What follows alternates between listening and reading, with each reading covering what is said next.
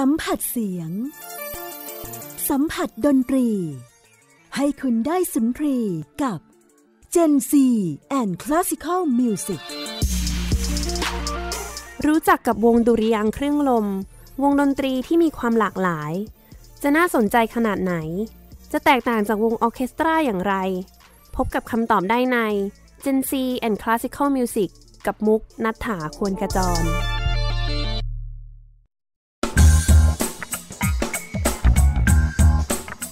เปิดรายการกันวันนี้ด้วยบทเพลงสนุกสนานน่ารักที่ท่านผู้ฟังฟังแล้วก็อาจจะนึกภาพอะไรออกกันนะคะ บทเพลงเมื่อสักครู่มีชื่อว่า Circus Ring หรือว่าถ้านึกภาพก็จะเป็นลานวงกลมที่ใช้สำหรับแสดงละครสัตว์นะคะ อยู่ในโดม อาจจะเห็นภาพการแสดงผาดโผนต่างๆนะคะ มีคนแต่งชุดเป็นตัวตลกบ้าง แล้วก็ชุด สีสันสดใสมาปั่นจักรยานล้อเดียวโยนบอลไปด้วยอะไรอย่างนี้นะคะ ก็บทเพลงนี้ประพันธ์โดยคีตกวีชาวอังกฤษ Paul Hart เป็นบทเพลงที่บรรเลงโดยวงเครื่องเป่าหรือว่าวง symphonic band ซึ่งวันนี้เนี่ยเราจะได้มารู้จักกับวงประเภทนี้กันมากขึ้นนะคะ ก็ขอต้อนรับอาจารย์ดร.นิพัฒน์กาญจนะหุตหรือว่าอาจารย์โต้งนะคะ สวัสดีค่ะ สวัสดีครับ แนะนำตัวสักเล็กน้อยค่ะว่า ตอนนี้ทำอะไรอยู่ที่ไหนอ่อ่าครับผมนิพัฒน์กาญจนะหุตนะครับ ตอนนี้สอนอ่าดนตรีอยู่ที่ภาควิชาดนตรีคณะมนุษยศาสตร์มหาวิทยาลัยเกษตรศาสตร์นะครับอ่าก็ส่วนใหญ่ก็จะสอน conducting นะครับค่ะทั้งปริญญาตรีและปริญญาโท แล้วก็ conduct วงเกษตรศาสตร์ Wind Symphony นะครับซึ่งเป็นวงดุริยางค์เครื่องลมของมหาวิทยาลัยเกษตรศาสตร์ครับ จริงๆ ก็เป็นหนึ่งในวงที่มีชื่อเสียงมากในตอนนี้ในด้านของประเภทวงดุริยางค์เครื่องลม ใช่ไหมะครับ ก็ที่มหาวิทยาลัยเกษตรเนี่ยภาควิชาดนตรีเนี่ยเราก็จะโฟกัสส่วนใหญ่ไปทางด้านวงดุริยางค์เครื่องลม ซึ่งซึ่งเป็นตลาดใหญ่ของเมืองไทยตอนนี้นะครับ เพราะว่าวงดุริยางค์อ่าในประเทศไทยเนี่ยวงดุริยางค์ระดับมัธยมศึกษาเนี่ยก็มีเยอะเป็นหมื่นวงอะนะครับ เขาต้องการคนสอน ที่ถนัดทางด้านนี้ก็เลยว่าอ่าเราโฟกัสไปทางด้านนี้ดีกว่าค่ะก่อนที่จะไปพูดกันถึงเรื่องของวงดุริยางค์เครื่องลม ขอรู้จักอาจารย์มากขึ้นก่อนว่า เริ่มเล่นดนตรีได้ยังไงคะครับมาถึงจุดนี้ที่จริงแล้วเริ่มเล่นดนตรีตั้งแต่เด็ก ๆ เลยนะครับ คุณพ่อซื้อซื้อเปียนิก้ามาให้เป่าอืมแล้วก็เปียก็นิติดใจก้า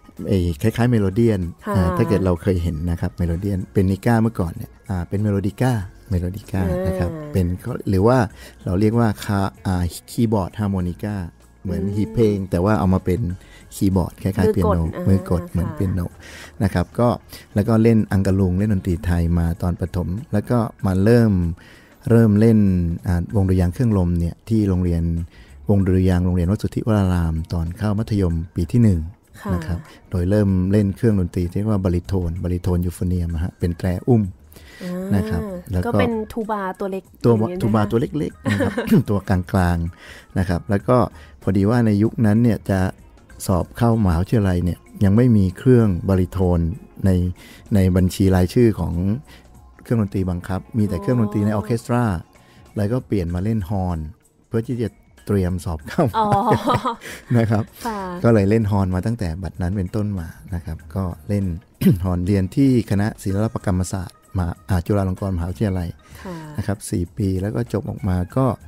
มาทำงานเล่นใน BSO อยู่ช่วงหนึ่งนะครับ ซึ่งตอนนี้เป็น RBSO ค่ะนะครับ แล้วก็อ่าก็สอนสอนที่โรงเรียนวัดที่วัดสุทธิวรารามนะครับ แล้วก็สอนที่สถาบันอ่ามหาวิทยาลัยราชภัฏสงขลา นะครับ แล้วก็ไปศึกษาต่อทางด้าน Win Conducting Conducting Performance นะครับปริญญาโทที่ University of North Texas นะครับ ที่ค่ะเดนตันเท็กซัสมหาวิทยอ่าที่ประเทศสหรัฐอเมริกานะครับ แล้วก็กลับมาสอนที่มหาวิทยาลัยเกษตรศาสตร์ พักหนึ่ง 6 ปี แล้วก็กลับไปเรียนปริญญาเอกทางด้าน Conducting Performance อีกครั้งหนึ่งค่ะแล้วก็กลับมาสอนที่ที่เดิมที่เลเดิยมที่เดิมไปไปที่เดิม เพราะว่ารู้สึกว่าการเรียนในระดับ เรียกบัณฑิตวิทยาลัยนะครับค่ะบัณฑิตวิทยาลัยคือปริญญาโทปริญญาเอกเนี่ย การเรียนปอโทเนี่ยก็คือการเรียนลึกลงไป แล้วก็เออเรานำกลับมาใช้ทดลองใช้ดู ตอนแรกจะไปเรียนปริญญาเอกเนี่ยกะจะเปลี่ยนที่เหมือนกันเพื่อความหลากหลายของวิชาการ แต่พอคิดอีกทีหนึ่งเรามาเรียนปริญญาโทแล้วกลับมาทดลองใช้ กลับไป check up กับอาจารย์คนเดิมอีกครั้งหนึ่งดีกว่า ว่าเอ้ยที่เรากลับมาทำเนี่ยทดลองทำเหมือนกับเป็นการวิจัยอะนะฮะ แล้วกลับไปเรียนปริญญาเอกที่เดิม ก็จริง ๆ แล้วเป็นการคิดถูก เพราะว่ากลับไปที่เดิมเนี่ยอาจารย์ที่สอนที่ North Texas เนี่ยวิธีการสอนคือคล้ายๆกับดนตรีไทย คือเป็นสำนัก ลูกศิษย์ที่จะเข้ามาเนี่ยต้องทำงานทุกอย่างไม่ว่างานบ้านงานเรือนอ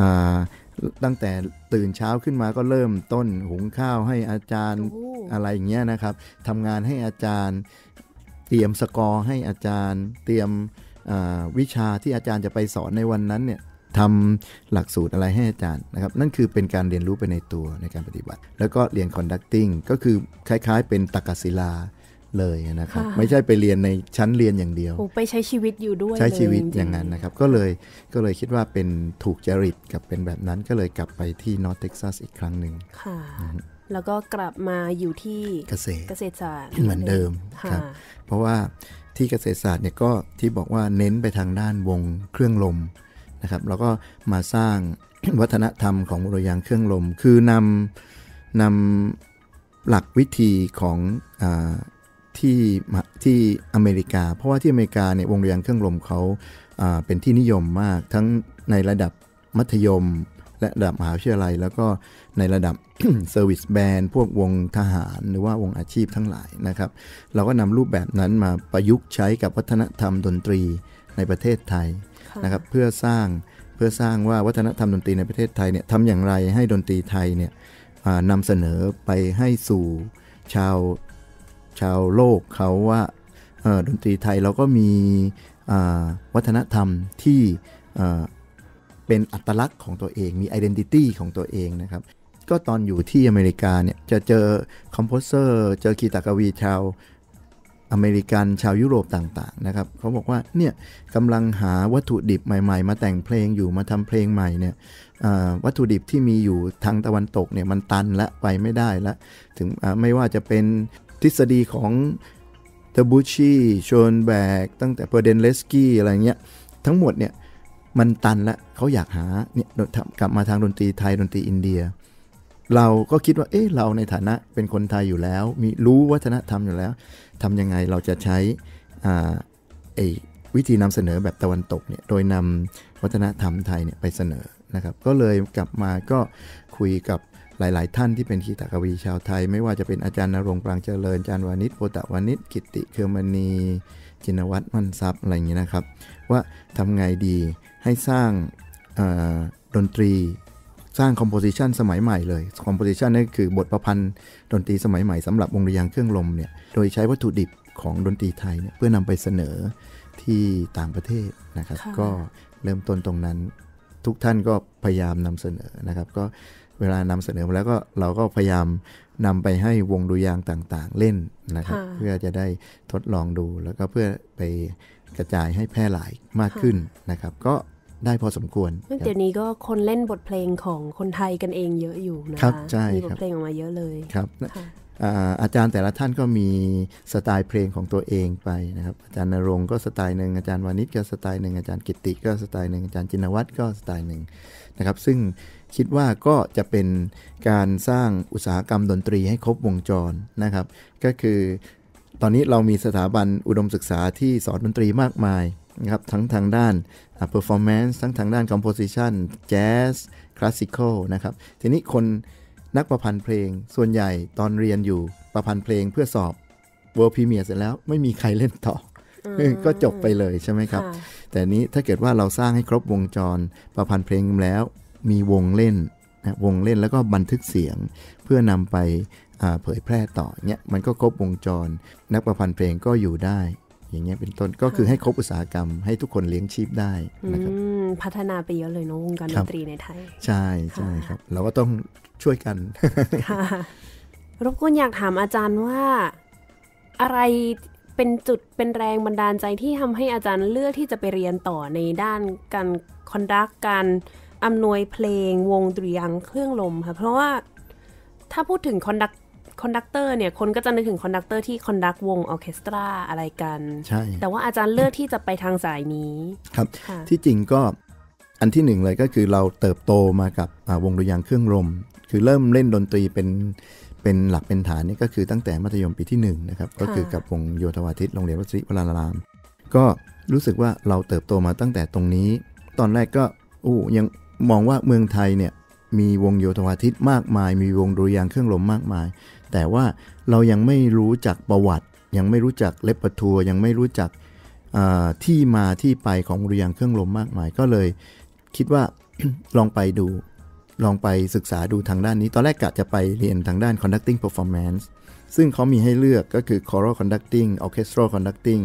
แล้วก็ wind conducting ก็เลยเลือก wind conducting เพราะว่าดูวิธีการเรียนการสอนของอาจารย์แล้วเนี่ย choral conducting อันหนึ่งก็เป็นพื้นฐานใช่ไหมครับ orchestral conducting ก็ส่วนใหญ่เป็น orchestral literature นะครับวิธีการเรียนการสอนก็อีกรูปแบบหนึ่ง ส่วน wind conducting ก็มี literature ที่ใหม่ ๆ มากมาย การเรียนการสอนก็มันท้าทายดีก็เลยเลือกเลือกอ่า wind conducting ปรากฏว่าก็ถูกจริตอีกนั่นเองก็คือเรามาสายวินแล้ว ก็ศึกษาปรากฏว่าไม่ได้เรียนถึงเรื่องเทคนิค conducting อย่างเดียว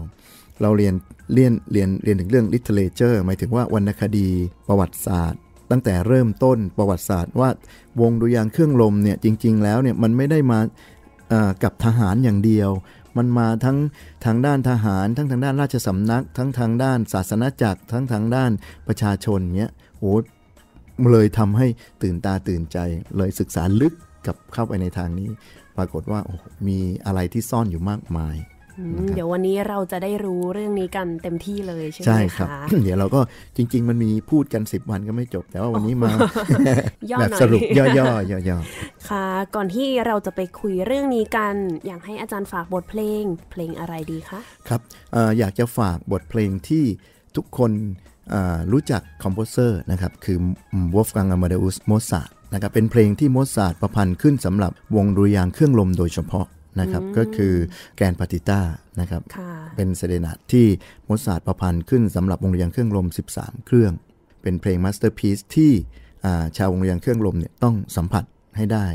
ครั้งหนึ่งในชีวิต เดี๋ยวเราไปลองรับฟังกันได้เลยนะคะ ค่ะบทเพลงโมซาร์ทของโมซาร์ทนะคะ Gran Partitaก็เดี๋ยววง Royal Bangkok Symphony Orchestra เองก็จะมีแสดงเช่นกัน แต่ว่าเดือนมิถุนายน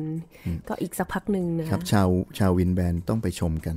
ครับเป็น literature หลักของ wind bandมุกนี้น่าจะต้องไปซ้อมอีกเยอะเลยค่ะ กว่าจะถึงวันนั้น ใช่ครับ ยากมาก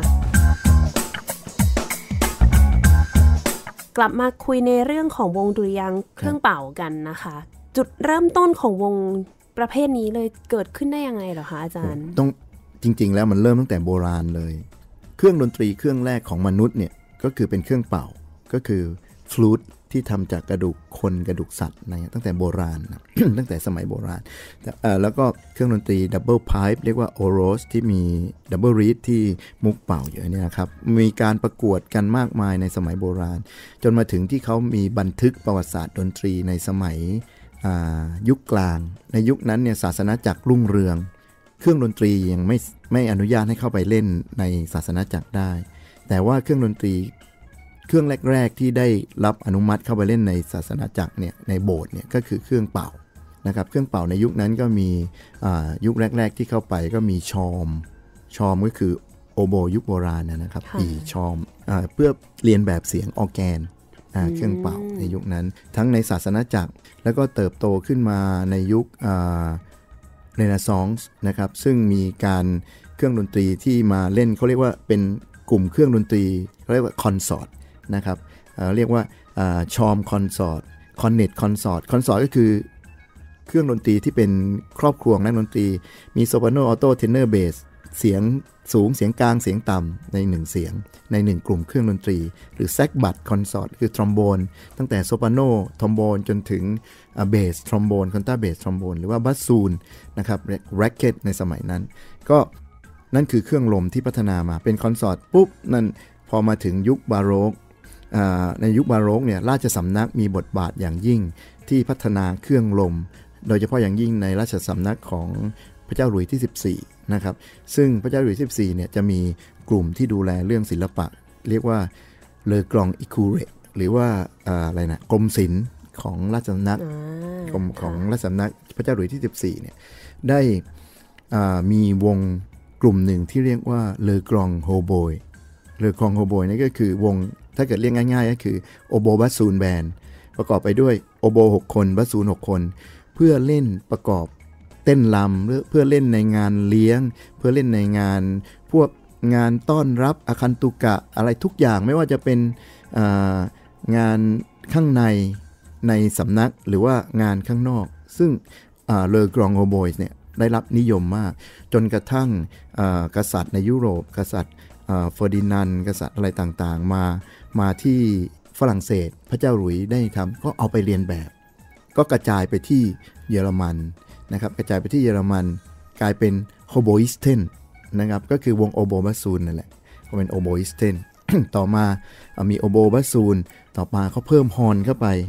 เป็นเขาเรียกว่าเป็น pair of instrument ก็คือคู่โอโบ2บัสซูน2ฮอร์น2 ต่อมาเพิ่มคลาริเน็ตไปอีก 2 ก็กลายเป็น 8 คน กลายเป็น Harmoniemusik ที่เยอรมันนะครับ แล้วก็ไอ้จุดเริ่มต้นของ Harmoniemusik นี่แหละ ก็เป็นที่มาของ wind band นี่คือราชสำนัก ในทหารก็เอาไอเดียของ Harmoniemusik เนี่ยไปใช้เหมือนกันนะครับ ก็คือ pair of instrument 2เครื่อง 2 โอโบ 2 บัสซูน 2 ฮอร์น 2 คลาริเน็ตนะครับเอาไปใช้ แล้วพอถึงบาโรกใช่ไหมครับ มาถึงยุคโมซาร์ทครอมเมอร์ไฮเดนเนี่ย ก็ได้ไอเดียของ Harmoniemusik มาทำเป็นเพลง wind band อย่าง Gran Partita ที่เปิดให้ฟังเนี่ยนะครับ ก็เป็นตัวอย่างของ Harmoniemusik ในยุคต้นๆ ที่เป็น original wind band ที่เกิดขึ้นนะครับ นี่แหละคือเป็นจุดเริ่มต้นที่พัฒนามา แล้ววงขยายใหญ่ขึ้นในยุค French Revolution หรือปฏิวัติฝรั่งเศส ซึ่งนโปเลียนเนี่ยได้ได้สร้างโรงเรียนดนตรีขึ้นมาโรงเรียนหนึ่ง เพื่อที่จะให้ทหารที่เป็น Republican Guard เนี่ยได้มาเรียนดนตรี แล้วโรงเรียนดนตรีอันนั้นเนี่ยต่อมาก็พัฒนาเป็น Paris Conservatoire นะครับนั่นคือจุดเริ่มต้นก็คือเปิดให้ Republican Guard เนี่ยมาเรียนเครื่องเป่า เรียนเครื่องเป่าใน Paris Conservatoire แล้วก็ขยายวงใหญ่ขึ้นมีการประกวดวงเครื่องลมมีโดยผู้อำนวยการสถาบันดนตรี Paris Conservatoire เนี่ยเป็นคนจัดการแข่งขันทำวง ในสมัยยุคปฏิวัติอุตสาหกรรม Adopt Sax ได้พัฒนาเครื่องดนตรีแซกตระกูลแซกโซโฟน ตระกูลแซกซ์ฮอนหรือแตรอุ้มต่างๆ ก็มีการประกวดกันในสมัยนั้น ใครวงใหญ่กว่า ใครมีเครื่องเครื่องเสียงที่มีเสียงหลากหลายกว่า ก็มีการชนะ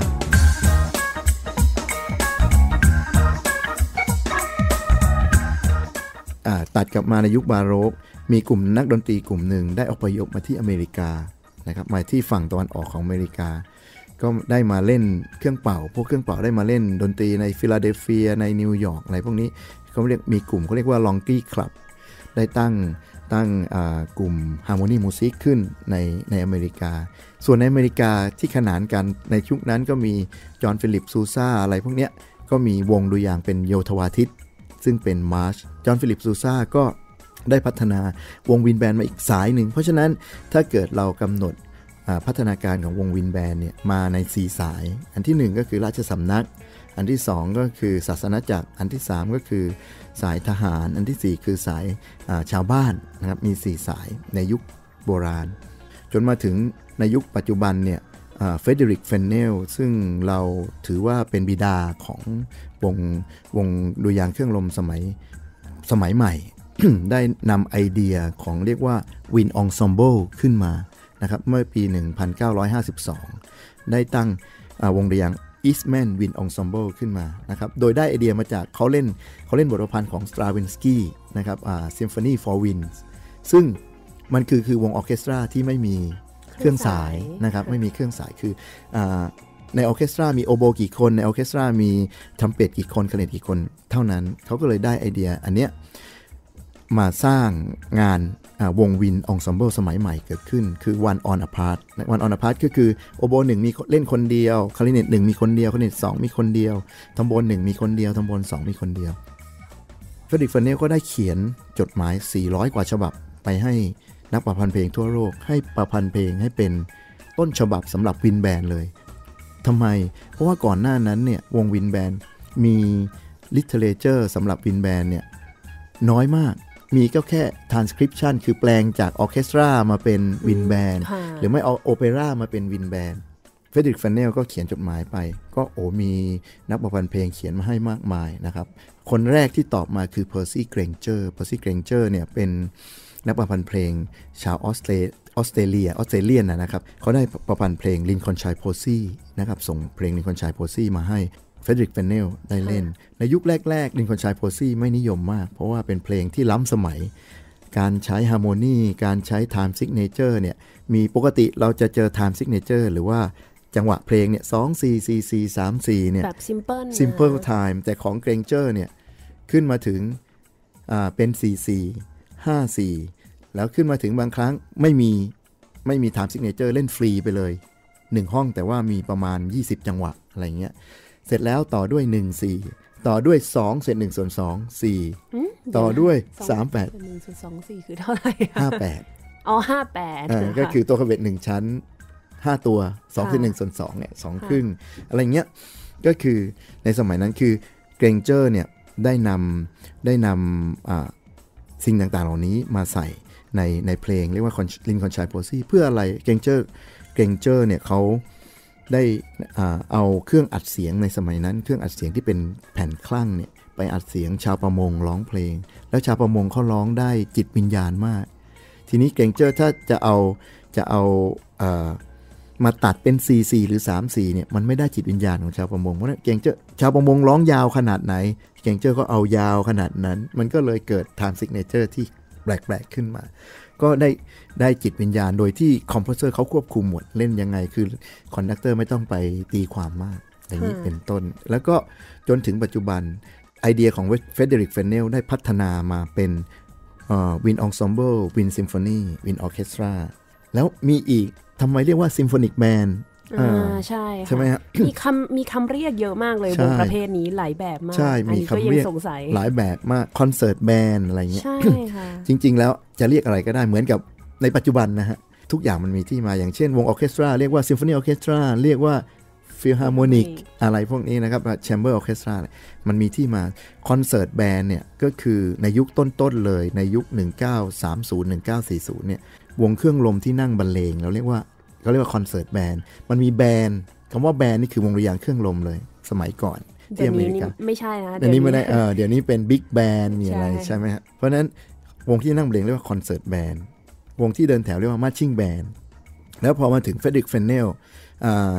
คิดคำว่า wind ensemble ขึ้นมาคือ one on a part หนึ่งแนวหนึ่งคน หรือว่าแล้วแต่ composer เขียน composer กำหนดมาว่าอ่าเพลงนี้ ใช้คลาริเนตหนึ่งสองคนคลาริเนตสองสองคนก็ตามที่ composer เขียนเรียกว่า wind ensemble มีอีกสายหนึ่งวิลเลียมรีเวลลีนี่คืออสายมิชิแกนสาย symphonic band คือวิลเลียมรีเวลลีเนี่ยเขาบอกว่าจะต้องอในวงดุริยางค์เครื่องลมเนี่ยจะมีคลาริเนตเนี่ยเท่ากับไวโอลินของ ออร์เคสตราคือเล่นแทนแนวเป็นแทนเป็นแทนเครื่องสายตรงเลยอืมอ่าแทนเครื่องสายจำนวนเท่ากันแซกซ์ก็แทนอ่าอ่าวิโอลาอะไรพวกเนี้ยนั่นคือสาย symphonic band symphonic band ก็คือคล้ายๆกับจำนวนคนเยอะ คล้ายๆออร์เคสตรานะครับส่วน wind symphony ก็คือขยายไอเดียของ wind ensemble มา one one on a part เนี่ยก็ขยายมาอย่างเช่นว่าคลาริเนตหนึ่งคนก็กลายเป็นคลาริเนตสองคนมั่งสามคนมั่ง แต่ว่า เครื่องน้อย ตามที่ composer เขียนมาเลยนะครับ นั่นคือขยายไอเดียของ Wind Ensemble ขึ้นมานะครับ ส่วนอีกส่วนหนึ่งแนว concert band เนี่ย ส่วนใหญ่เนี่ย ในยุคแรกๆเนี่ยเขาจะเล่นเพลง transcription ก็คือ orchestral transcription คือแปลมาเหมือนกับว่าเรียบเรียงใหม่อ่าเอามาเปลี่ยนเครื่องดนตรีใหม่ค่ะเพลงออร์เคสตรามา นั่นคือของมาร์คมาร์คฮินด์สลีย์ของอิลลินอยส์นะครับ มันก็มี 3 3 3 กระแสเนี่ย นะครับเป็นที่มาของชื่อวง wind band ในปัจจุบัน ส่วนปัจจุบันเนี่ยก็โอ้มีหลากหลายมาก philharmonic wind ใช่ wind symphony wind orchestra ก็คือที่มาเนี่ยสามสายนี้ค่ะนะครับอืมนั่นคือที่มาของของ wind band ในปัจจุบัน แล้วกระจายไปหลักอ่าแหล่งแหล่งแหล่ง wind band ที่เจริญที่สุดในปัจจุบันนั่นก็คือที่ประเทศสหรัฐอเมริกาค่ะนะครับ ก็ขยายมาที่ญี่ปุ่นนะครับที่เยอะหน่อยอ๋อใช่เห็นที่หูญี่ปุ่นนี่โรงเรียนมัธยมวงแบนเป็นนี่เก่งมาก เป็น 8 0,000วงอะไรอจริย่างงเหรอนี้นะคะฮะอ่าฮะโอ้โหก็เยอะอยู่นะครับ แล้วก็ประเทศไทยที่ที่เรากำลังอ่าเป็นที่นิยมนะครับ ส่วนในยุโรปเนี่ยก็มีที่ประเทศอ่าเนเธอร์แลนด์นะครับ ที่เป็นที่นิยมเนเธอร์แลนด์เบลเยียมเนี่ยเป็นที่นิยมเยอะอยู่ในยุโรปนะครับ ก็มีมีหลัง ส่วนสเปนก็อีกสาขาหนึ่งนะครับ มีสายสเปนเนี่ยบางบางวงเนี่ยก็ใช้เชลโลเข้ามาผสมในวง wind band ด้วยนะครับ ส่วนไอ้สเปนสเปนแผ่นดินใหญ่นะครับ ส่วนสเปนที่เป็นเกาะคาตาลันเนี่ยเขาจะไม่ใช้เชลโลนะครับ ก็มีหลายกระแสมากนะครับ ก็ หูน่าสนใจมาก เดี๋ยวก่อนที่เราจะไปคุยกันต่อ เดี๋ยวยังมียังมีเรื่องราวให้พูดคุยกันอีกใช่ไหมคะคขออีกสักเพลงหนึ่งขั้นให้ท่านผู้ฟังหน่อยแล้วกันนะคะ ครับเพลงที่พูดถึงเมื่อกี้ก็คือ Lincoln Chai Posey นะครับเพลงของ Percy Granger อันนี้ก็เป็นท่อนหนึ่งนะครับให้มาฟังกันสั้นๆ จะได้ทราบว่าเพลงเป็นเพลงโฟกซองเนี่ยนำมาทำให้สำหรับวินแบนแล้วที่บอกว่ามันซับซ้อนเนี่ยเป็นอย่างไรนะครับรับชมไปรับฟังกันได้เลยค่ะ รู้หรือไม่กับนัฐธาควรขจร รู้หรือไม่ AI จะแต่งซิมโฟนีหมายเลข 10 ของเบโธเฟนให้จบ ลุดวิกฟานเบโธเฟนได้ประพันธ์ซิมโฟนีเสร็จสมบูรณ์ทั้งหมด 9 บท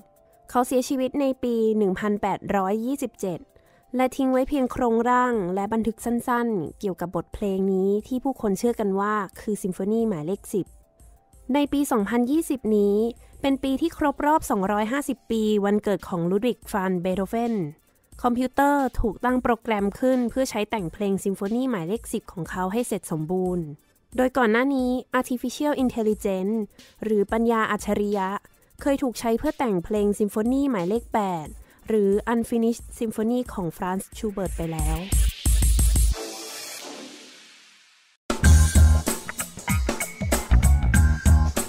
ท่านผู้ฟังกำลังรับฟังรายการ Gen Z and Classical Music กับมุกนัฐาพุนขจร และดรนิพัฒน์กาญจนะหุตอาจารย์โต้งนะคะ ค่ะ กลับมาคุยกันต่อ อยากถามอีกเรื่องหนึ่งที่ผมว่าในไทยตอนนี้วงประเภทนี้ก็คือเป็นที่นิยมมาก ๆ แล้วก็จะได้ยินคำนี้กันเยอะมากว่าวงโยธวาทิต อันนี้คือวงประเภทนี้เลยใช่ไหมคะ ใช่ครับ ก็คือจริง ๆ แล้ววงโยธวาทิตเนี่ยคำว่าโยธวาทิตคำว่าเกิดคำมามาจากคำว่าโยธาบกวาทิตคำว่าโยธาบกวาทิตในเริ่มเริ่มต้นเนี่ยมันมาจากคำว่า military band ของอังกฤษคำว่า military band เนี่ยเกิดจากไอเดียของกุสตาฟโฮลสต์กุสตาฟโฮลสต์เนี่ยเรารู้จักกันนะครับ ที่ประพันธ์เพลง The Planet นะครับกุสตาฟโฮลสต์ได้ประพันธ์เพลงที่เป็น wind band สำหรับ wind band ที่เป็น original wind band ไว้มากมาย first suite second suite Moorside Suite อะไรต่างๆนะครับหรือว่า Toccata Marziale อะไรพวกนี้นะครับ ทั้งวอห์นวิลเลียมส์ทั้งโฮลสต์เนี่ยได้ประพันธ์เพลง แล้วเพลงสำหรับวงดุริยางเครื่องลมเนี่ยโฮสหรือว่าฟอนวิลเลียมหรือว่าคอมโพเซอร์ในสมัยนั้น เรียก instrumentation หรือว่าการจัดเครื่องดนตรีแบบนี้เรียกว่าสำหรับ military band ซึ่งไม่ใช่สำหรับเดินแถวอย่างเดียว เป็นนั่งบรรเลง military band คือใน tradition ของอังกฤษเรียกว่า military band วงระยางนั่งบรรเลงแต่พอเข้ามาในเมืองไทยเนี่ยวงประเพณีเหล่านี้เวลาวัฒนธรรมเหล่านี้เวลาเข้ามาเมืองไทยเข้ามากับเรือรบสมัยนั้นนะครับเรือรบเข้ามาเรือรบอังกฤษเข้ามา ก็เรียกว่า military band เขาก็ติดกันมา ก็ใช้คำว่า military band คำว่าโยธาเมื่อก่อนแปลว่าทหาร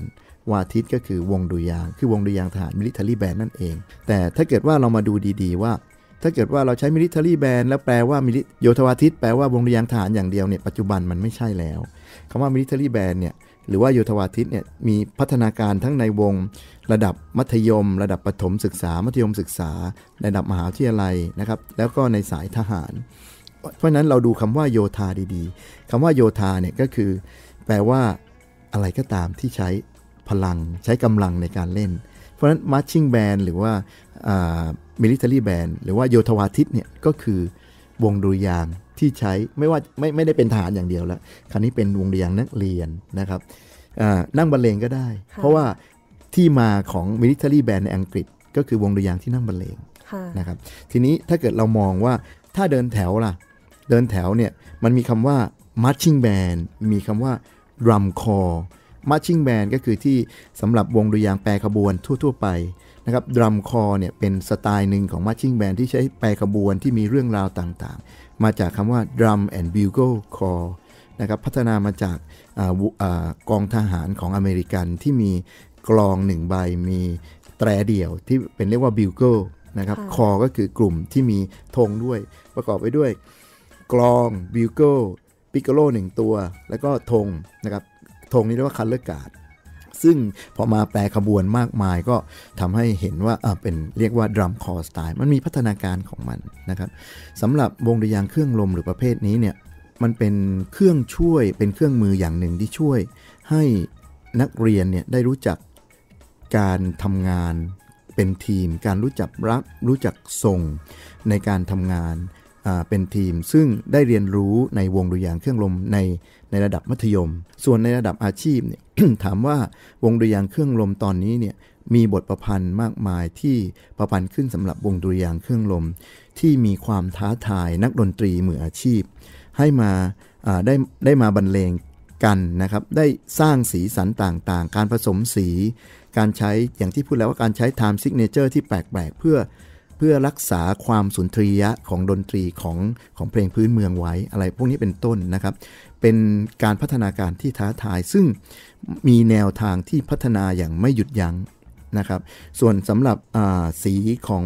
วงดุริยางค์เครื่องสายหรือว่าซิมโฟนีออร์เคสตรามันก็มี repertoire ที่เป็น repertoire master masterpiece ที่คนฟังกันมา จนจนอ ชื่นชอบในระดับหนึ่งแล้วนะครับค่ะวงดุริยางค์เครื่องลมในปัจจุบันก็มีความแพร่หลายมากขึ้น แล้วก็วงดุริยางค์เครื่องลมเนี่ยในทั่วอย่างเช่นในทั่วประเทศสหรัฐอเมริกาเนี่ยมีจำนวนวงดุริยางค์เครื่องลมมากกว่าวงออร์เคสตราโอ้เหรอคะนะฮะเพราะว่าอย่างเช่น นักประพันธ์หนึ่งคนเนี่ยประพันธ์เพลงขึ้นมา ถ้าเกิดประพันธ์ขึ้นมาแล้วเนี่ยถ้าเกิดว่าประพันธ์สำหรับออร์เคสตราเนี่ยประพันธ์เพลงใหม่เนี่ยจะใช้ขายให้วงออร์เคสตราไม่กี่วงค่ะ สำหรับเลี้ยงชีพ แต่ว่าประพันธ์เพลงสำหรับวงดุริยางค์เครื่องลมเนี่ยขายได้เยอะเลย ขายได้เยอะเลยเป็นเป็นหมื่นหมื่นวงเลยนะครับ แล้วก็ข้อได้เปรียบของวงดุริยางค์เครื่องลมอีกอย่างหนึ่ง นักประพันธ์ประพันธ์เพลงขึ้นมา ถ้าเกิดว่าไปจ้างวงออร์เคสตราสำหรับ world premiere เนี่ยใช้การซ้อม 3 ครั้งเพื่อที่ world premiere เพราะฉะนั้นถ้าการซ้อม 3 ครั้ง เพราะว่าถ้าเกิดซ้อมเยอะกว่านั้นเนี่ยมันจะมีค่าใช้จ่ายเยอะใช่ไหมฮะค่ะใช่ไหมฮะก็เลยก็เลยว่าเออซ้อม 3 ครั้ง เพราะฉะนั้นจะประพันธ์ให้ซับซ้อนมาก ก็ไม่ไม่ได้ได้ก็คือได้ระดับหนึ่ง แต่สำหรับวงดุริยางค์เครื่องลมเนี่ยนักประพันธ์เนี่ยประพันธ์ประพันธ์ขึ้นมา แล้วก็ส่วนใหญ่ให้ไปให้วงดุริยางค์เครื่องลมในระดับอุดมศึกษาเนี่ยได้ซ้อม ซึ่งอย่างน้อยก็ 4 ครั้ง 7 ครั้งสำหรับ1 World Premier มันเขาก็จะใช้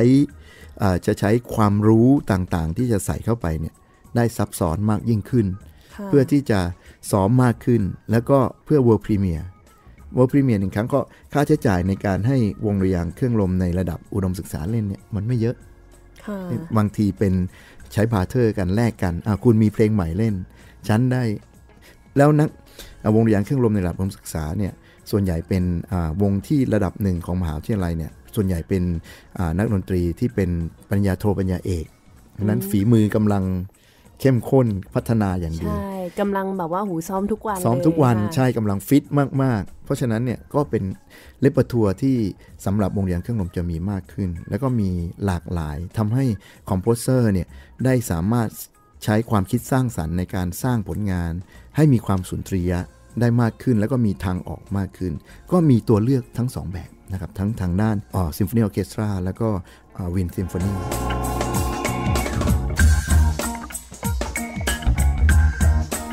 ไหนๆก็วันนี้มาแล้วในฐานะอาอาจารย์ของ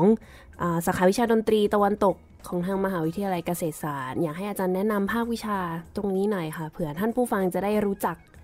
เนาะมอเกษตรครับค่ะกันมากขึ้นครับ ใครได้ยินชื่อมอเกษตรก็คิดว่าทำแต่เกษตรกรรมนะไม่จริงตอนนี้มีทั้งวิศวะมีทั้งสถาปัตย์นะครับ วิทยาศาสตร์อ่าภาควิชาดนตรี คณะมนุษยศาสตร์ ขึ้นอยู่กับคณะมนุษยศาสตร์มหาวิทยาลัยเกษตรศาสตร์เนี่ย ก็เป็นฟาร์มฟาร์มหนึ่งฟาร์มเพื่อสร้างนักดนตรีสำหรับออกไปประดับวงการดนตรีในประเทศไทยไม่ว่าเขาจะไปออกไปเป็นนักดนตรี โดยตรงไปเป็นครูสอนดนตรี หรือว่าไปเป็นทำงานแนวต่างๆ ทางด้านดนตรีเนี่ยก็เอ่อเราได้ใช้ดนตรีเป็นแหล่งห้องปฏิบัติการสำหรับพวกเขาเหล่านั้นที่มีพื้นฐานทางด้านดนตรีมาจากมัธยมเนี่ยให้ได้ทำงานร่วมกันรู้จักวิธีทำงาน ใช้ดนตรีเป็นเครื่องมือ ในการฝึกเขาให้ไปประกอบอาชีพได้หลากหลาย มีเอกอะไรบ้างอะคะตอนนี้เป็น ก็ส่วนใหญ่เป็นเอกอาทั้งมีมีทุกเครื่อง เพราะว่าอ่าปริญญาของอาภาควิชาดนตรีของมหาลัยเกษตรศาสตร์เนี่ยเป็นศิลปะศาสตร์บัณฑิต เรียนแบบกว้างๆ ใช้ดนตรี แต่ว่าเราเน้นไปทางด้านวงดุริยางเครื่องลม มีวงดุริยางค์อ่าเกษตรศาสตร์ wind symphony เป็นห้องปฏิบัติการสำหรับให้เขาได้นำวิชาทฤษฎีอะไรต่างๆ มาใช้มีเอก composition มีเอก wind study นะครับแล้วก็มีดนตรีไทยด้วย แต่ว่าเครื่องสายเปียโนอะไรก็มีเช่นกัน เครื่องสายใช่ไหมคะเปียโนก็มีทุกอย่างกีตาร์ก็มีค่ะ voice ก็มีเอก voice ก็มีโอ้จริงๆก็คือมีทุกอย่างเลยมีทุกอย่างแต่ว่าจะเน้นในทางด้าน winds ค่ะนะเอก voice ก็มาร้องเพลงกับwinds นะครับเอกเปียโนก็มาเล่นอ่าแนวเปียโน เพราะว่าเพลงเพลง wind สำหรับ wind symphony ในปัจจุบันมีเปียโนมีฮาร์ปเยอะแยะค่ะ แล้วก็มีจะมีคอนเสิร์ตอีกไหมคะ ช่วงนี้เผื่อว่าท่านผู้ฟังสนใจอยากจะไปฟัง ครับ เราจะมีคอนเสิร์ตอีกครั้งหนึ่งปลายเดือนมีนาคมนะครับ เพื่ออหาทุนไปเพราะว่าเราได้รับเชิญจาก Texas Bandmaster Association ให้ไปบรรเลงคอนเสิร์ตในงาน conference ของ Texas Bandmaster ในช่วงวันที่ 23 24 25 กรกฎาคมปีนี้ ที่นะครับอเมริกาที่อเมริกาโอ้นะครับค่ะก็เป็นการปักหลักทางวิชาการนำเสนอ โดยนำเสนอเพลงของของ composer คนไทยนี่แหละเป็นบทเพลงประเภทไหนคะที่จะแสดง เป็นเพลงสำหรับ wind symphony นะครับ โดยนำ material คือวัตถุดิบของดนตรีไทยเนี่ยมาใช้นะครับ ก็ที่วองมองไว้ก็คือเพลงอ่าชุดอ่ารามเกียรติ์ของอาจารย์จินวัตร นะครับชุดอาของอาจารย์กิตติของอาจารย์วานิชนะครับที่จะเลือกไป เพราะว่าทั้ง 3 ท่านเนี่ยได้นำ material ทางด้านดนตรีต่างๆ มามาใช้ในการประพันธ์เพลงค่ะก็จะแสดงที่มหาวิทยาลัยเกษตรศาสตร์เลยครับหอเปล่าอ่าครับใช่ครับแสดงที่มหาลัยเกษตรศาสตร์แล้วก็นำ production อันเนี้ยไปแสดงที่เท็กซัสที่ซานอันโตนิโอ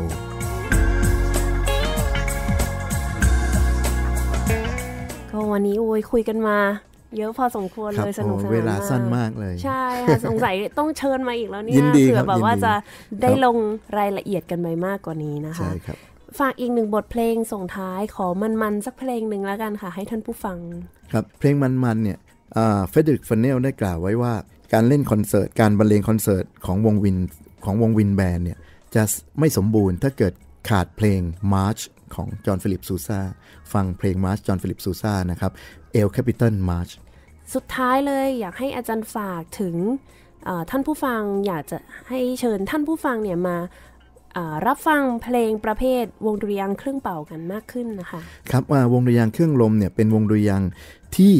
มีหน้าที่ได้หลากหลายมาก คือใกล้ชิดกับวิถีชีวิตของอา คนธรรมดาในปัจจุบันเนี่ยเยอะไม่ว่าจะเป็นระดับตั้งแต่ทำงานตั้งแต่ระดับราชสำนัก ตั้งแต่ทหารเนี่ยจะฟังเพลงลูกทุ่ง จะฟังเพลงแจ๊สจะฟังเพลงโอเปร่าจะฟังเพลงคลาสสิกซีเรียสน้อยซีเรียสมากเนี่ยวงดุริยางเครื่องลมเนี่ยจะบรรเลงได้หลากหลาย แล้วก็เข้าถึงแม้กระทั่งเพลงบิ๊กแบนอย่างสุนทราพรณ์มันก็เป็นบิ๊กแบนนี่ก็คือ วงดุริยางค์เครื่องลมสามารถนำมาขยายมีคลาริเนตมีโอโบ มีอ่าบาสซูน ซึ่งสีสันมันก็จะเพิ่มขึ้นค่ะและแต่ว่าสไตล์ของ big band มันก็ยังอยู่เล่นเป็นแจ๊สซี่ได้ นั้นก็อ่าเรียนเชิญทุกๆท่านนะครับ มาฟังเพลงวงดุริยางค์เครื่องลม ซึ่งมีทางเลือกอีกทางเลือกหนึ่งนะครับอ่าวงดุริยางค์เครื่องลม วงดุริยางค์ซิมโฟนีออร์เคสตราวง big band ก็มีสไตล์ของแต่ละแต่ละกลุ่มได้ ท่านผู้ฟังคะสำหรับวันนี้เวลาก็หมดลงแล้ว ดิฉันมุกนัฐถาคุณกระจรและอ่านิพัฒน์การจนหุดนะครับ ค่ะ เราสองคนขอลาไปก่อน สวัสดีค่ะ สวัสดีครับ